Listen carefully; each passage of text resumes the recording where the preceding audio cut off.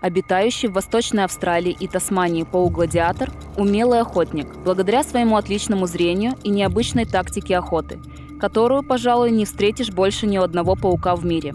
Они имеют стройное тело, очень длинные лапы и безумно огромные глаза. Вообще, это самые большие глаза среди всех пауков.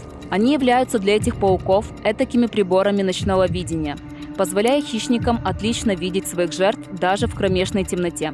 Так, с наступлением ночи этот хищник выбирается из укрытия и создает небольшой квадрат паутины из липких и упругих нитей.